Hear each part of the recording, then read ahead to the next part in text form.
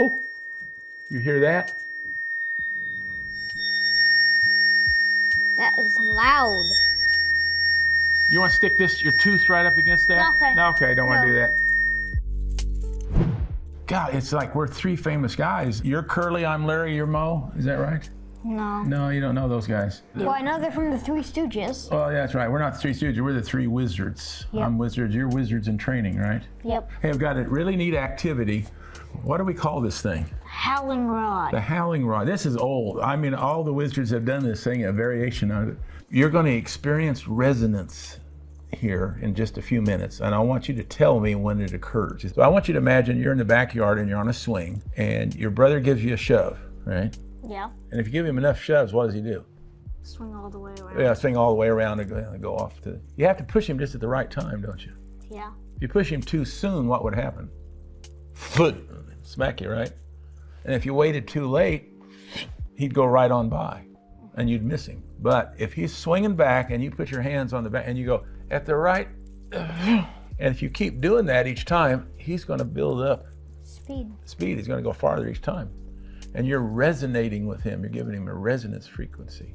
Well, we're going to try to demonstrate that by getting the atoms and molecules inside this aluminum rod. And about this long, something that you can handle easily. You can do it with any length, but if it gets too short, the noise you make is too high to control. So I get one about, what is that, about four foot long. Need some steel wool and some rosin.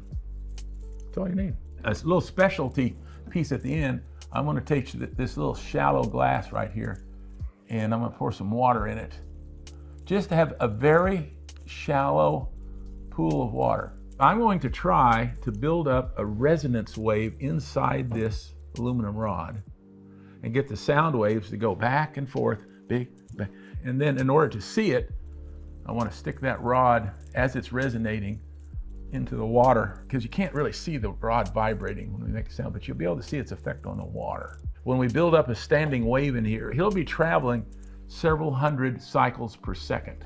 Now, in order to get this to ring, I could hit it once with my finger, and then I could hit it again, and hit it faster and faster, faster, faster, faster, faster. That's going to hurt after a while. But there's a way I can hit it real fast.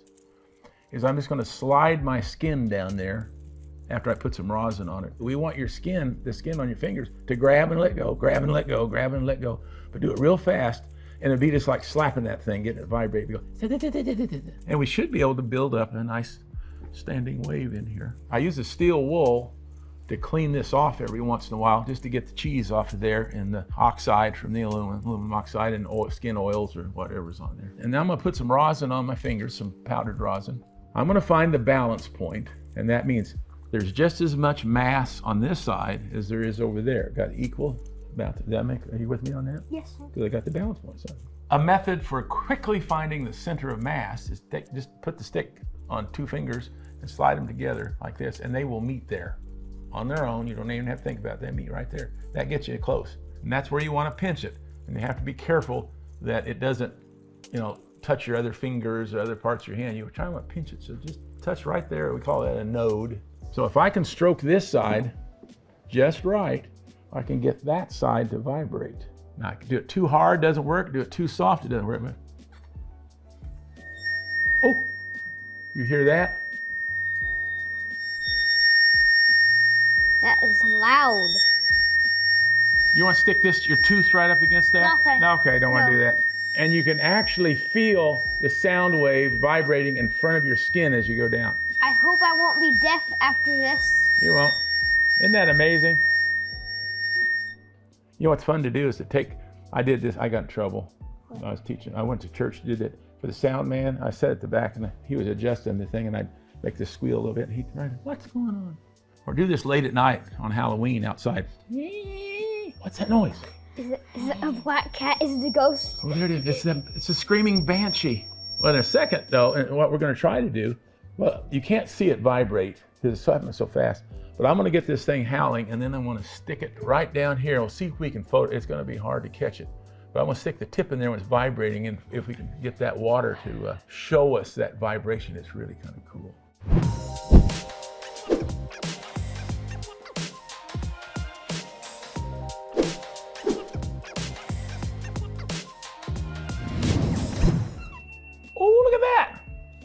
You had it there for a second. You almost had that. I got a question for the two of you. Just stop just for a second. I got a question for you. Ready? Mm-hmm. Now these these have different masses. They weigh different, right? Yeah. Yeah. Is the heavier rod going to be higher or lower pitch? Would you think? Lower.